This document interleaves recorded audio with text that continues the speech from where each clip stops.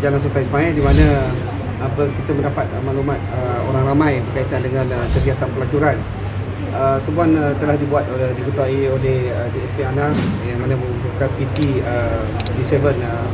JSJ Kontingen uh, Kuala dan uh, kita bersama dengan pasukan polis daripada JSJ telah membuat serbuan tempat ni. Di mana semasa buat serbuan kita dapati ramai pelanggan-pelanggan yang uh, berada di kawasan spa ni. Dan kita telah uh,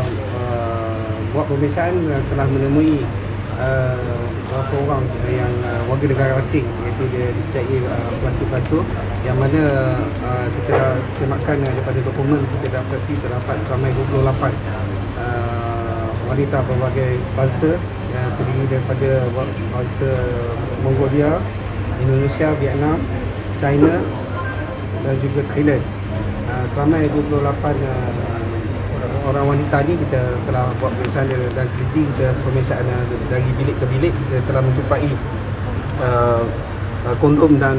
dan juga beberapa apa ni alat-alat uh, ataupun uh, alat-alat set. Di mana kita juga temui apa di dalam apa ni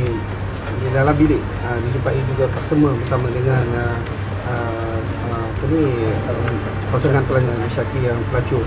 dan kita juga buat pemeriksaan dan kita telah buat tangkapan terhadap uh, peni, uh, pekerja dan juga penjaga premis ini mana terdiri daripada satu perempuan uh, Cina dan juga dua lelaki uh, tiga lelaki uh, bangsa Cina yang merupakan pekerja-pekerja dalam uh, premis ini. So setakat ni kita dipercayai lebih kurang uh, apa ni uh, 4 tahun. Tetapi kegiatan ni dia mungkin dia secara sembunyi ataupun uh, tidak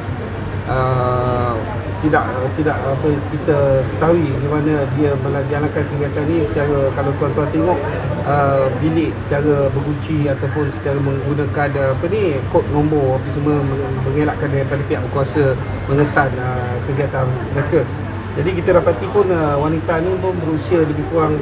uh, 24 hingga ke 34 tahun yang kita telah buat tangkapan ni. So sampai 28 uh, wanita ni kita akan bawa balik untuk uh, dokumentasi dan juga kesihatan